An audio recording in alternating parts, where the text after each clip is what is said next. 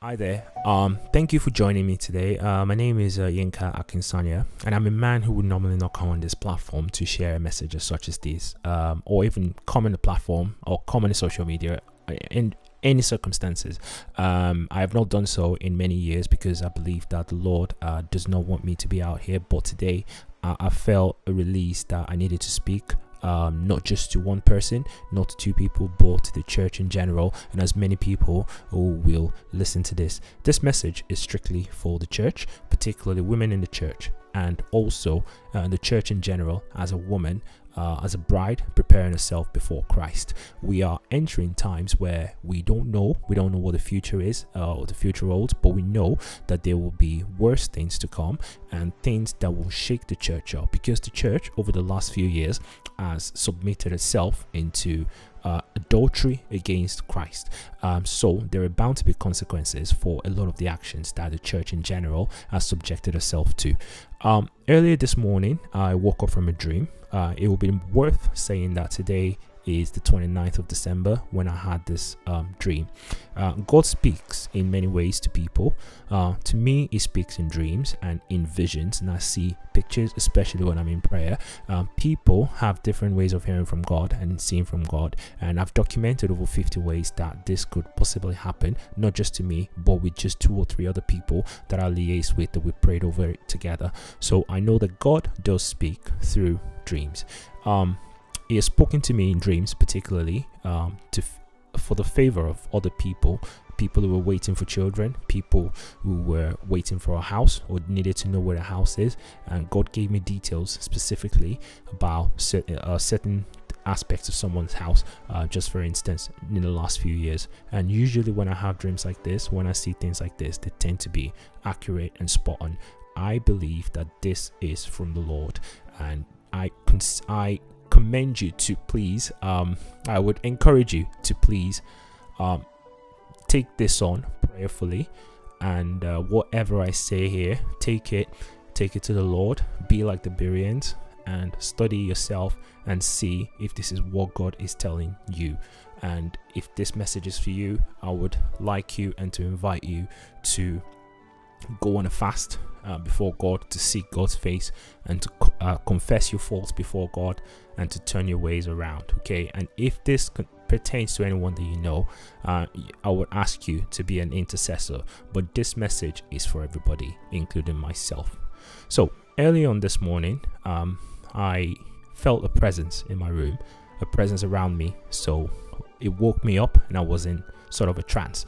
And I was praying against this presence. Um, and the Lord started to reveal to me the personality of this presence. So this presence, it's a spirit, a dormant spirit um, that is very defensive. It was just there, and the spirit did nothing until I started to pray against it, and until I started to pray for the people that God was showing me. So God will show me a picture of certain people, and um, I can only reveal three of them to you because some of them are specific to other people. Um, but as I see this people in a dream, most of them are women, and as, as I start to pray for them, the spirit will then go on the defensive and attack me.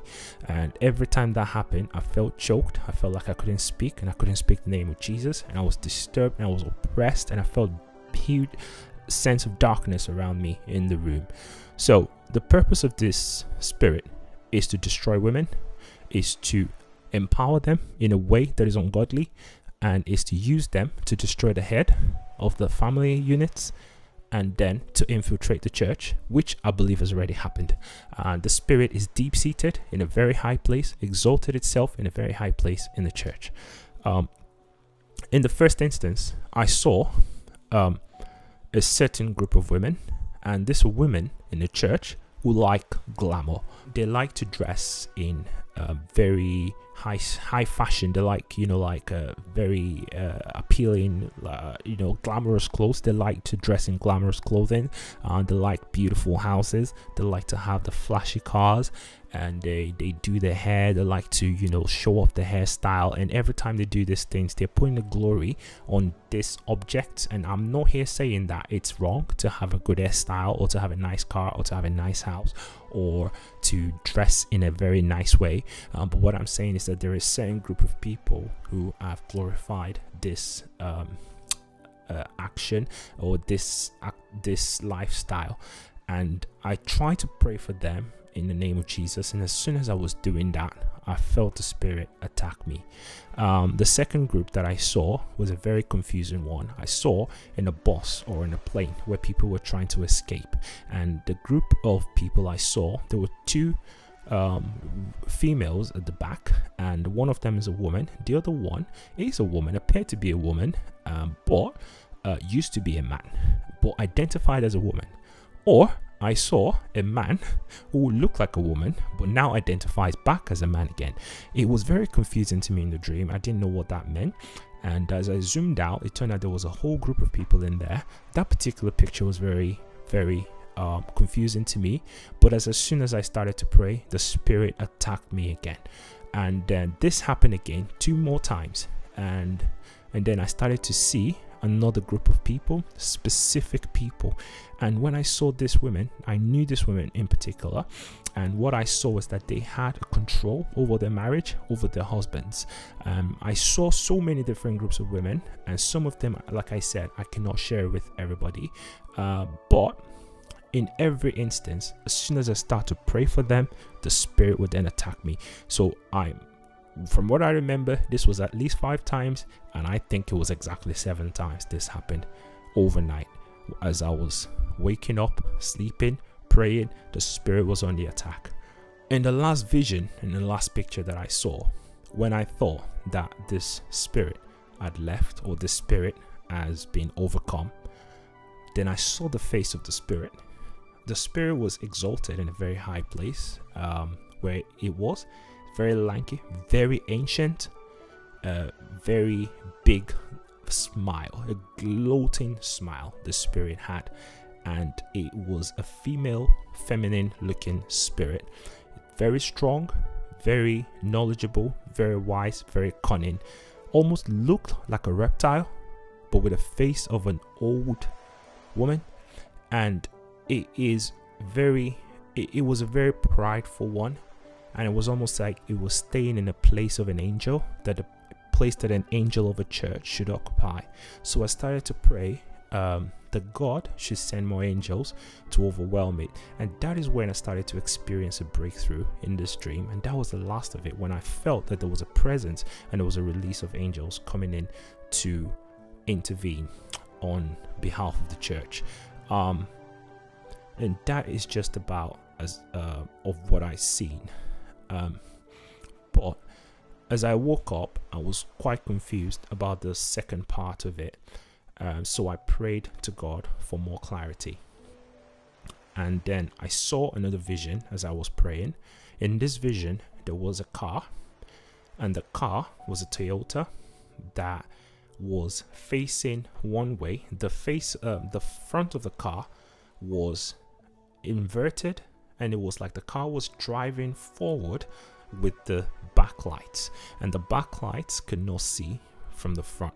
So what i saw there was a car going in the right direction but with the wrong mindset or a car going in the wrong direction but the right way or the right aspect of it is pointed another way. So this was in reference to the family I saw with the confusing aspect, and I think this was to just explain the confusion that it is impossible to serve God and also embrace an ideology that God doesn't approve of. So, this is the message that I believe God was trying to say to the church. So, these three groups of women in the church, or three groups of people in the church that need intercession. And the first one, uh, just to remind you, are people who lead a glamorous lifestyle and have idolized it. And second one, are people who have embraced an idea that goes against God's ways and will not submit themselves to, themselves to God.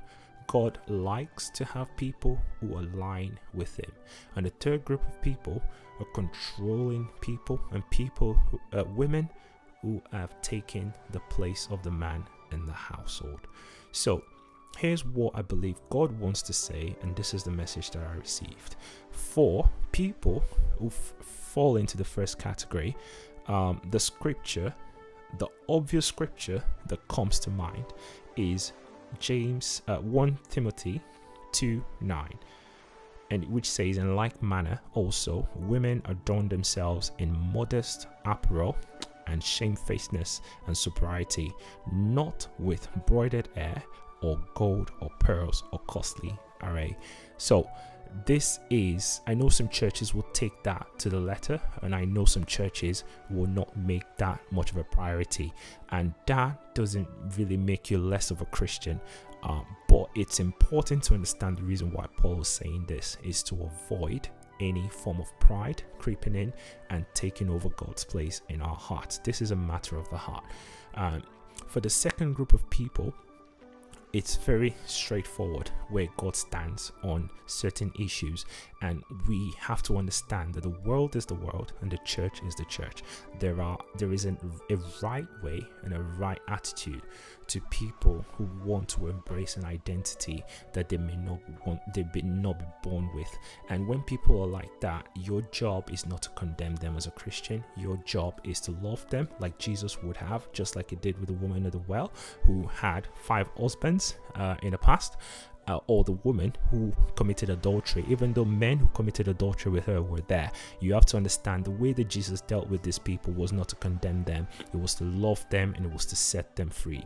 And that's the way of God. And God wants to deal with the heart. God is not there to condemn us. So we have to submit ourselves to God and let God know that this is how we feel, this is who we are, but we come to Him as we are, that He will turn us around because that is God's job to turn our sins around and to set us free. But there is a right way and a right mindset around this. But the the job of the church, in my opinion, in what I believe that God is saying here is that we should intercede for people as such as this. And the third group that I saw was, um, and this actually came more as I was praying. Um, was the women who were controlling the men uh, in Ephesians 5 or 6 um, God makes it clear that He wants the man to be the head of the home. That is the role of a man. God is not saying the man is more important than women, but what God is saying is that a man a man's job is to be the priest of the household and a woman's job is to be um, the support of the household women know more than men. I'm a married man and I, I know that. Uh, however, it's not about knowledge, it's because God wants to protect the woman from pride once again. Because knowledge is something that can deceive us into thinking that we are God ourselves. And that is the whole idea. And that was the whole temptation around it in the first place. God wants to protect our women. So, women who are very controlling, who they are doing it. The revelation I got from this is that they are doing it out of fear. It's not something that I believe they're doing on purpose. It's something that they can't help and they need help in intercession and in prayer. So you are one of these three groups of people. What the Lord is saying is for you to come to Him with your faults and be ready to confess it to Him, and He's ready to set you free. As you enter a new year in 2024, the first part of your year, if it's 21 days, if it's 30 days, if it's one week, make a covenant with God to fast, to mourn, and to submit yourselves to God so that He can deliver you from your sin. You are not alone. In the final picture that I got as I had all these revelations, I saw as well um, when I was in the classroom as a teacher and um, I was checking my timetable and I was asking what we are supposed to do next. And this is in response to the second um, group of people that I saw when I was confused. And I saw something about Worsley in Manchester, but that confused me a bit because it's saying two things that things could get worse, or that we need to keep our eyes on a place called Worsley. Now, finally, and my departing message is to just show you this that we as the church are the bride of Christ and these offenses are things that we're doing to God. And the first one is representing pride, the second one is representing adultery in a sense where we're not aligned with God, we're not aligned with the person who we're married to in Christ. And the third one is to say that we are God instead of God being our God and we being submissive to Him in terms of like us wanting to be in control. The church is not God, the church is God's own beloved. That's who we are, and that's the message that God wants us to know that you are loved by God, but we have to submit all to Him so that He can take His place in our lives. I hope this has been a blessing to you. It is not to condemn anyone, and it is just to bring you and bring everybody right back to God. I'm just a messenger here today, uh, but I pray that there will be a change in all our lives and we can start to see the church moving forward in the right direction with God. Thank you. God bless you.